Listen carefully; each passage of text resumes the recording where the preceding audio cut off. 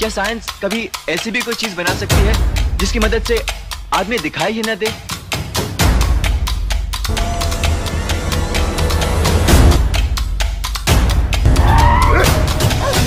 Morrison Police Force.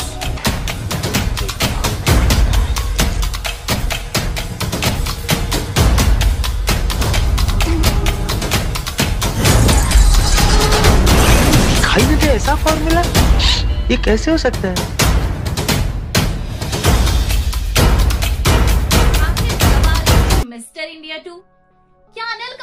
नहीं होंगे movie का हिस्सा। कौन देगा मोगैम्बो को टक्कर?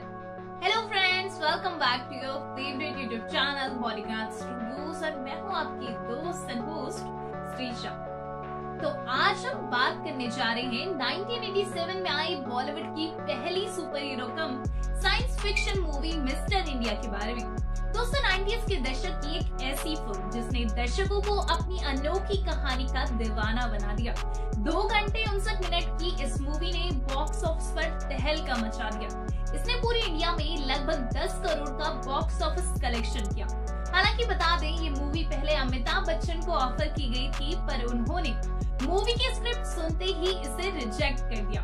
उनका कहना था कि दर्शक उन्हें बड़े पर्दे पे देखने आएँगे।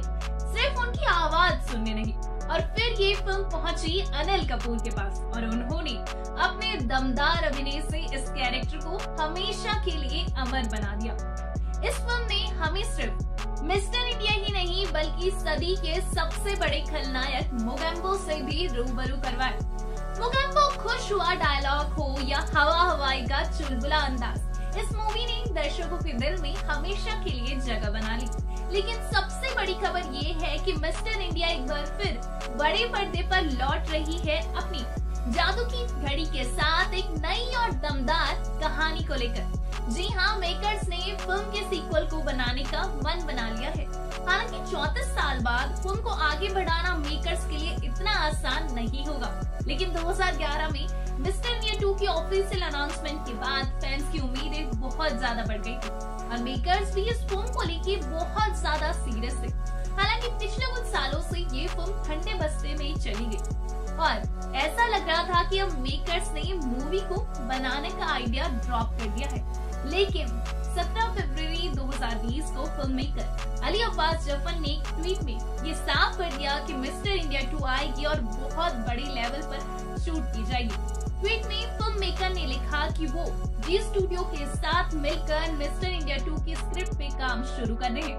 और ये फ़िल्म 1987 में आई मिस्टर इंडिया की ना तो रीमेक होगी और ना ही उसका सीक्वल ये एक डिफरेंट और बिल्कुल फ्रेश मूवी होगी। उनके इस ट्वीट के बाद से ये साफ़ हो गया है कि मिस्टर इंडिया की स्क्रिप्ट पर वो खुद काम कर रहे हैं और जल्द ही वो उसकी कास्टिंग भी शुरू कर देंगे। हालाँकि आपको बता दें कि अली अब्बास ज़फ़र ने एक इंटरव्यू में पूछा गया कि क्या वो एक सुपर हीरो यूनिवर्स बना रहे हैं तो उनका कहना था कि हाँ वो एक सुपर हीरो यूनिवर्स पे काम कर रहे हैं। फ़िल्म मेकर्स का कहना था कि इस वक्त वो कैटरीना कैफ के साथ सुपर हीरो बेस्ड फ़िल्म पे काम कर रहे हैं और इसके बाद वो मिस्टर इंडिया को प्लेटफॉर्म पर उतारेंगे।